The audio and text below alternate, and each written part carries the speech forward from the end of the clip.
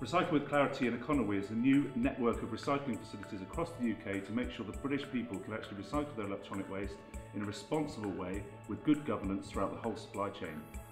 What Recycle with Clarity is doing is a really important initiative because they're not just relying on people to come to them, they're also going to the people. I work for Magpie Recycling Cooperative and as well as collecting lots of furniture, we also collect waste electricals. It's been really great working with Clarity so that we can provide that service and from here the electricals go on to a company called Sweeep who we chose with Clarity because we do feel like they offer the best environmental solution.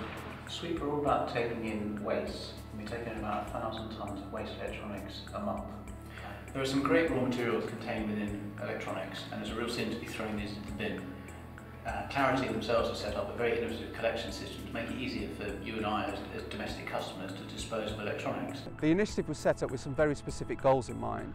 We wanted to open a network of new sites to give the public choice of places to recycle waste electronics, batteries and other recyclables. We wanted to back that service up with doorstep collections, to give transparency of where and how items are being recycled, to guarantee that none of the electrical items are being exported overseas, but more importantly, we wanted to give the public complete confidence when they make their decision to recycle with clarity.